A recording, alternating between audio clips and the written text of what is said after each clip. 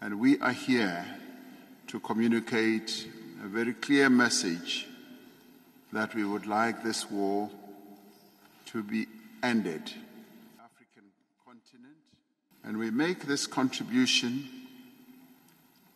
with the greatest respect to both countries, respecting the positions that they have put forward, but also believing that there is a common position that can emerge, a position that can lead to peace.